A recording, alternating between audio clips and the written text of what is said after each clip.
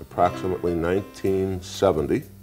He became a client of mine, and I had a relationship with Jerry for 30 years.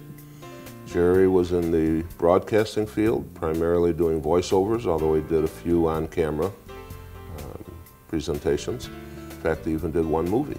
Jerry Kaufherr.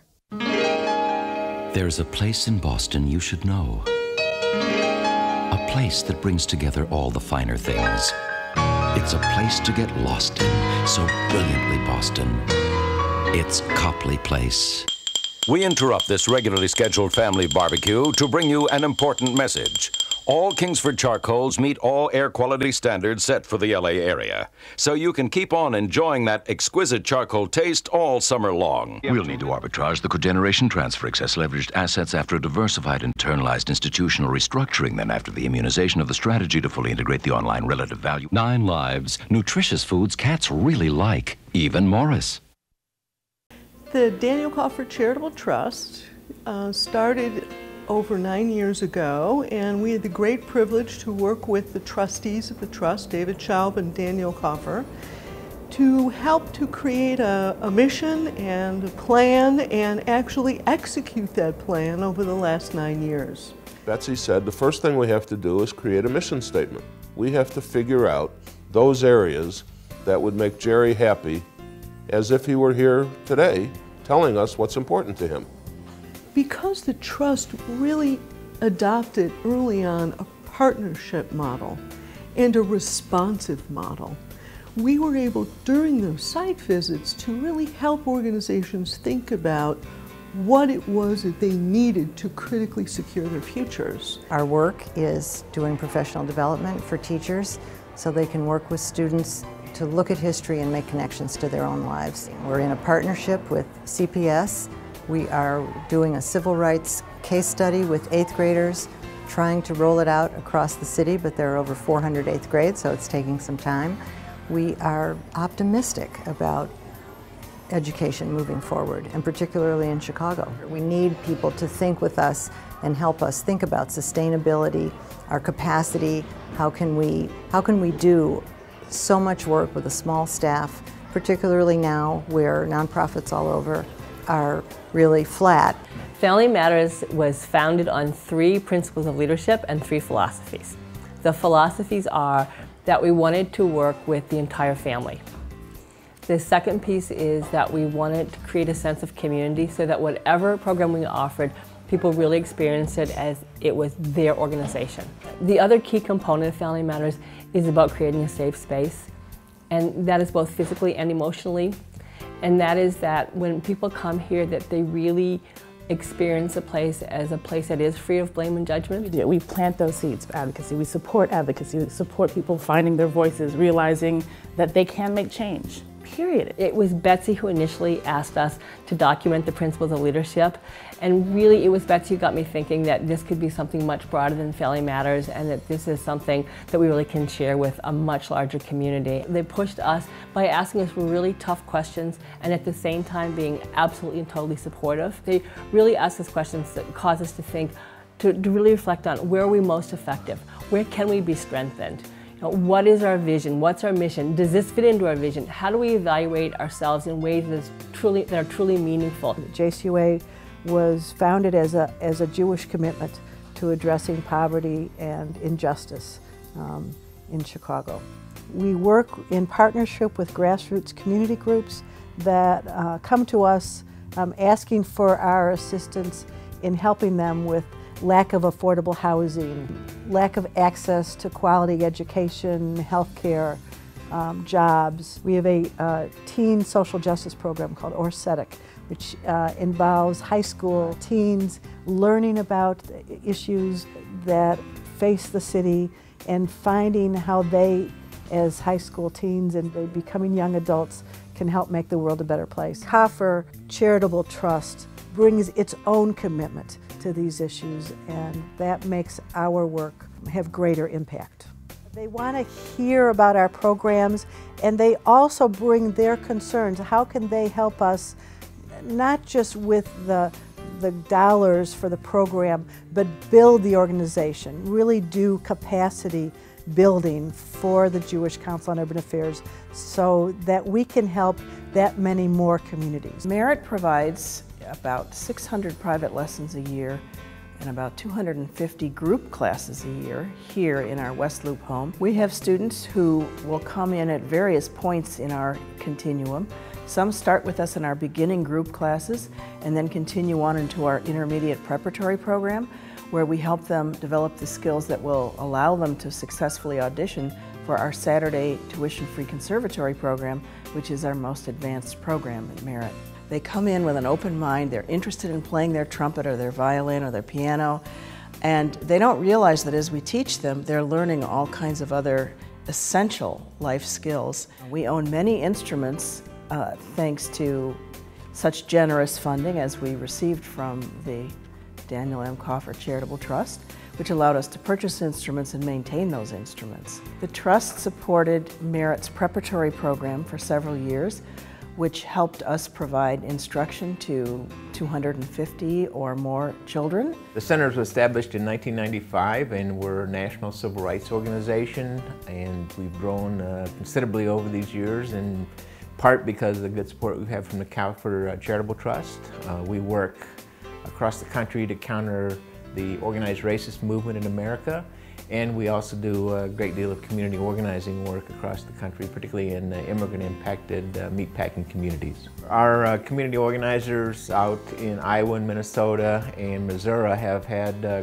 good success working with local congregations and pastors and leaders in those rural communities to address a range of social and economic and racial justice issues. Well, Kaufherr has been a very, very interesting partner with the Center for New Community, and, uh, and David and Betsy, Molly, the staff over there have been uh, good friends of ours. I mean, personally and organizationally, they've, they've uh, raised questions with us. They've challenged us in a good way. They've always really uh, sat down with us and had a thorough kind of conversation every year that has really kind of helped us push forward and they've helped us really rethink and think anew about the work we're doing. The Shriver Center is a not-for-profit law office. We use uh, policy research, communications, and diverse forms of advocacy uh, to win positive changes in the fight against poverty and to promote opportunity for low-income people and communities. We want to work on issues that begin, at least conceptually, with people walking through the door with problems.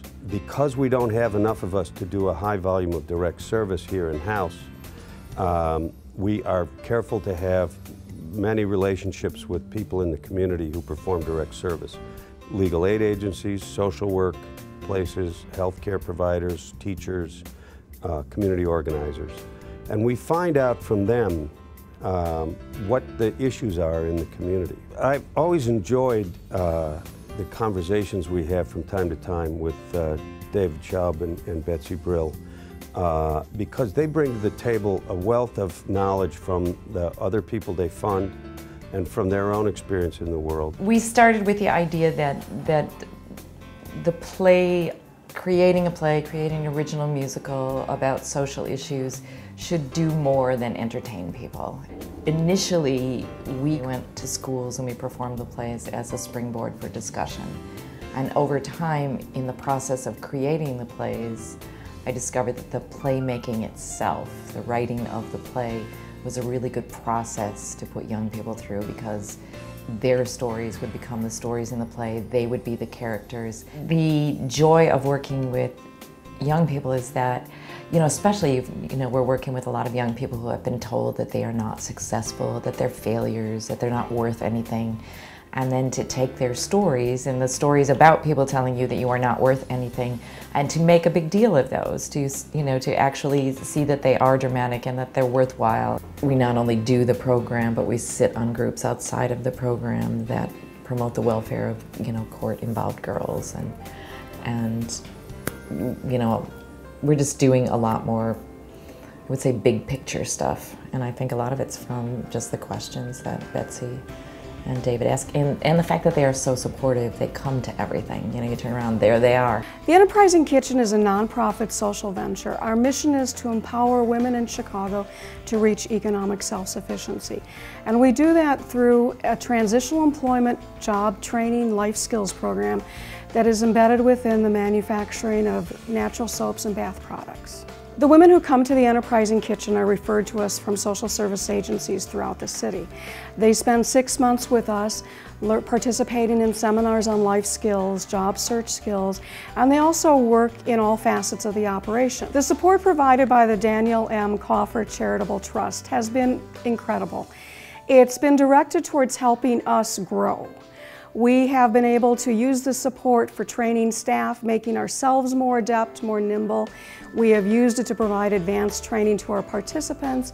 And in the final years, we're now looking at how it's going to help us become more sustainable. Women Employed is almost 37 years old, and it started in the early 70s when a small group of women came together and thought it was time to do something about the big barriers to good employment that were facing women all over the city. We began by meeting with business executives to make our case that they were missing out on half the talent that was available to them by discriminating against women. And we thought that the power of reason would win out. Uh, unfortunately, it did not. So what we had to do was go to the federal government and insist that the equal opportunity laws, which were already on the books, be enforced against sex discrimination. As our relationship with Crawford developed, they took an interest in how an organization that's really an advocacy organization and can't necessarily count the number of people who get services or get an education or whatever, uh, they felt that we could use some help in terms of evaluating our work. For a number of years, uh, we used Kaufherr support to really codify the way we were looking at our work and measuring our impact.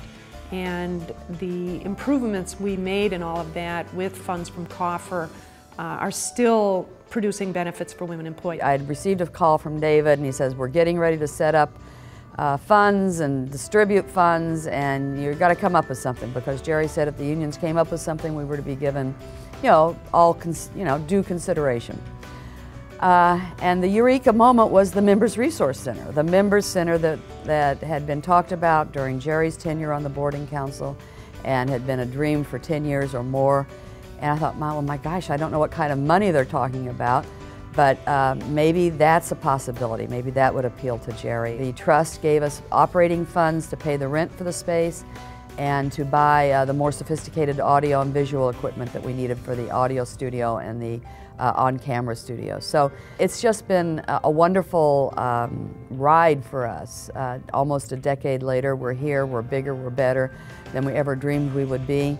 Over 30,000 people have come in. We register every person who uses the center. It's a hub of the acting community and it's a support for union actors in Chicago and the Midwest. And David and Betsy certainly gave us critical feedback on what they thought uh, was necessary to run a, a, a, member center that was going to be successful. Ending the trust life is a um, is both sad and extremely exciting.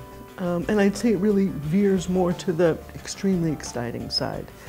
And that is that now we can really reflect back on the amazing accomplishments of the trust, on the strategic investments that were made, on the organizations and the people that were touched. And really the, the, the heartfelt relationships that have been built, that were enriched over the years, which will live on well beyond the trust life. And it's been uh, a really phenomenal journey. I think that Jerry would be very proud of what the trust has done but I know that he would be very proud of what his wealth has been able to do for all of the people who were not as fortunate as Jerry was during his lifetime. For a number of years, uh, we used Kaufherr support to really codify the way we were looking at our work. They have encouraged us to think big. They really ask us questions that cause us to think, where are we most effective? A funder who funds both direct service and policy work has information about what's going on on the ground, what the problems are, and, and that's gold to us.